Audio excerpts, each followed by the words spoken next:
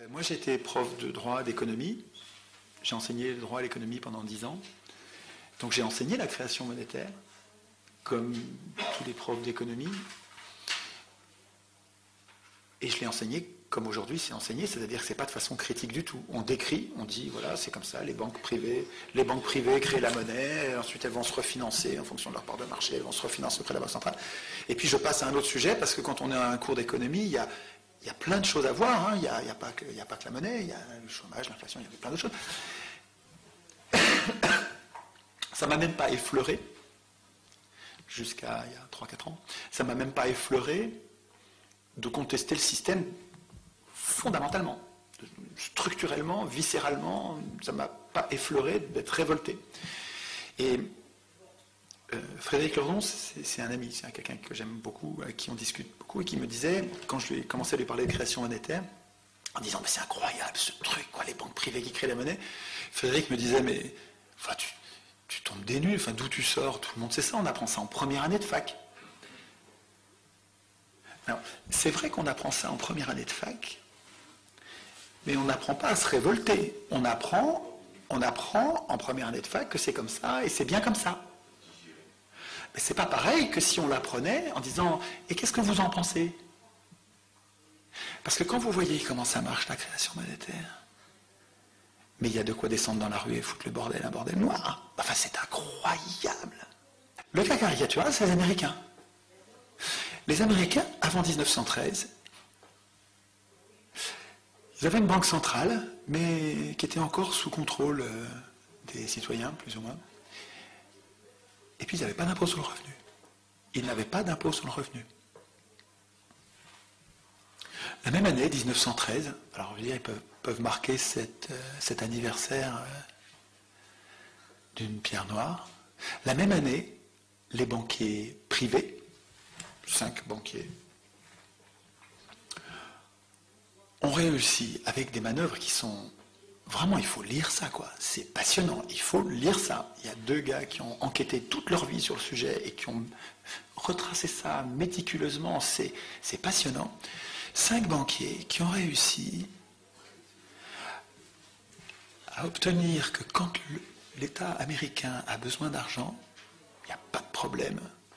C'est nous, les banquiers privés, qui allons lui donner, qui allons lui prêter, avec un intérêt de 6%. C'est incroyable. C'est génial. C'est génial. Donc, depuis, alors ils n'étaient pas endettés à l'époque, du tout. Les États-Unis n'étaient pas endettés. Aujourd'hui, aujourd'hui, la Fédérale Réserve, alors sont- ils ont décidé de s'appeler Federal Reserve pour que ça sente pas. La banque centrale euh, privée, euh, les Américains ne voulaient pas de banque centrale, ils ne voulaient pas la domination de Wall Street, ils ne voulaient pas, ils savaient que c'était dangereux, ils n'en voulaient pas. Et ils ont fait un truc malin, ils ont dit on va l'appeler Federal Reserve. Ils ont gobé ça, ils ont voté ça à Noël à l'arrache. Ils se sont fait enfumer. Et alors depuis, la dette ne fait que grimper, mais grimper, grimper, grimper. Et la même année, ils ont inventé l'impôt sur le revenu. C'est le même président Wilson qui a mis en place les deux. Et l'impôt le revenu, écoutez, je ne sais pas si ça a été conçu comme ça, mais on dirait que ça, tout se passe comme si, et c'est comme pareil, pareil en France, hein, plus tard, mais pareil en France, tout se passe comme si, premier temps, je commence par endetter l'État à mon endroit, moi banquier, je commence par faire que l'État me doive de l'argent, et ensuite, pour que l'État ait de l'argent, je fabrique un nouvel impôt qui va servir à financer cet argent-là.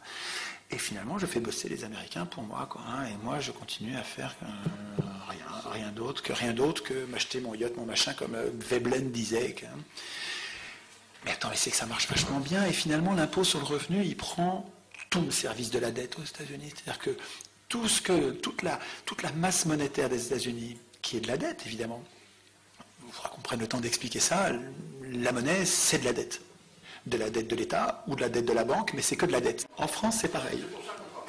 Tout ce que vous passez, tout ce que vous payez en impôt sur le revenu, 100% de ce que vous payez, ne sert pas à faire marcher les hôpitaux, les, les écoles, les, les services publics. Pas du tout, du tout. Ça part tout dans le service de la dette, c'est-à-dire ça part dans les poches des riches qui ont prêté à l'État, parce que l'État a renoncé à créer lui-même la monnaie dont il a besoin. L'État, c'est l'État. Nous, en fait, nos représentants, en fait, des félons, des félons, des traîtres ont obligé l'État, nous ont obligés à nous endetter auprès d'acteurs privés, donc des gens qui, par définition, ont de l'argent. S'ils peuvent nous prêter, c'est qu'ils ont de l'argent à nous, endetter, auprès de ces gens-là en leur payant un intérêt. Et cet intérêt, alors il a grandi, grandi, grandi, grandi depuis 73. Et si vous regardez les déficits, alors les déficits de chaque année, ils sont égaux au, service de la dette. C'est-à-dire que s'il n'y avait pas la dette, on serait resté à peu près, à peu près, grosso modo, on serait resté à peu près à l'équilibre, à peu près. C'est-à-dire qu'en fait, le déséquilibre, c'est la formation de la dette et le service de la dette, pas le remboursement. C'est inaccessible le remboursement, ça fait trop d'argent. Le service de la dette, juste les intérêts, l'État le prend par l'impôt sur le revenu et le donne aux riches. Purée, mais, mais, c'est incroyable qu'on accepte un système pareil. C'est juste incroyable qu'on accepte. Un... C'est incroyable qu'on appelle représentants des gens qui sont capables de nous trahir au dernier degré comme ça. Quand vous faites les milliards et que vous regardez ce qui nous manque pour la Sécu, vous regardez ce qui nous manque pour la retraite, vous regardez ce qui nous manque pour EDF, e GDF, tous les services publics, mais attendez, mais vous avez, vous avez tout ce qu'il faut. Vous avez tout ce qu'il faut.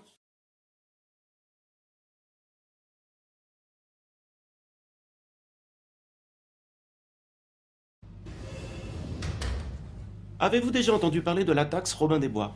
Oui, c'est. C'est une bien belle idée. Taxer les banques pour aider les pauvres, mais je ne crois pas que ça fonctionnera. C'est très compliqué et ça serait un coup dur pour tout le secteur bancaire. Qui s'est vu attribuer des milliards d'euros provenant des contribuables pour le faire perdurer? Oui, c'est vrai, vous avez raison. Et qui continue toujours à se verser des milliards d'euros de bonus? En effet. Et donc cette taxe pourrait être prélevée sur les opérations boursières des marchés financiers? Options et obligations, produits dérivés, achats de devises, etc. C'est exact. Oui, c'est à peu près ça. C'est extrêmement complexe. Donc, euh, les acteurs des marchés financiers donneraient combien pour chacune de leurs transactions? Euh, 25% Non. Non, non, pas autant. 10% Non. 5% Non plus. Pas 5. Plus ou moins? Légèrement moins. 1% Pas tout à fait. 0,5% Non. 1 pour 1000 Non. La moitié, ce qui ferait 0,05% de chaque transaction. Oui, c'est à peu près ça. Il arriverait parfois que ce soit encore moins. Aux yeux du monde, ce n'est qu'une infime partie. Je l'accorde. Oui, vous avez raison. Et combien est-ce que ça générerait d'argent pour, euh, pour aider les plus pauvres?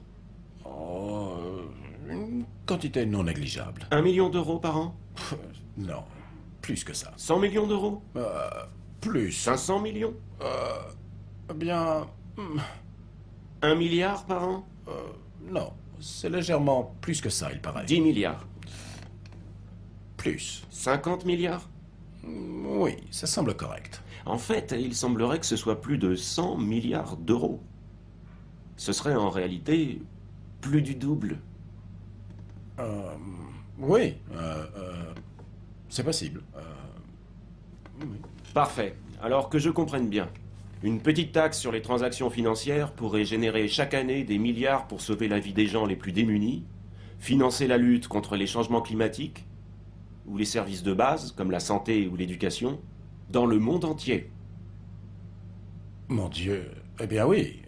Oui, oui, oui, c'est effectivement euh, ce que ça permettrait. J'en sais rien. C'est, c'est peut- peut-être euh, pas une si mauvaise idée.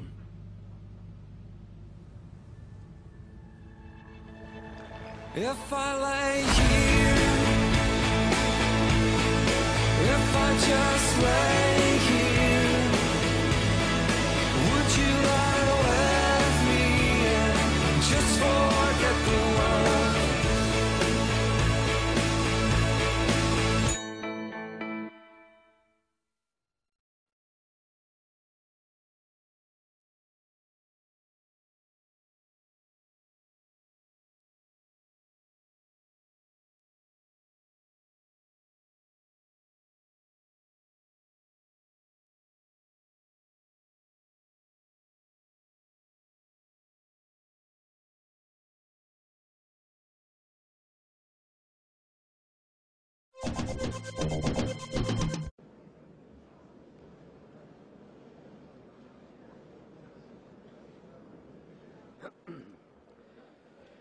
les financements innovants, la taxation des transactions financières. Nous pouvons le décider ici. Pourquoi attendre? La finance s'est mondialisée. Au nom de quoi nous ne demanderions pas à la finance de participer à la stabilisation du monde en prélevant sur chaque échange financier une taxation infime. J'essaierai, pendant l'année de ma présidence du G20 et du G8, de promouvoir l'idée des financements innovants défendus par Bernard Kouchner. Nous avons pris la décision, alors que nous sommes le deuxième contributeur au Fonds mondial de lutte contre le sida, la tuberculose et le paludisme, nous avons décidé d'augmenter notre contribution de 20% au cours des trois prochaines années.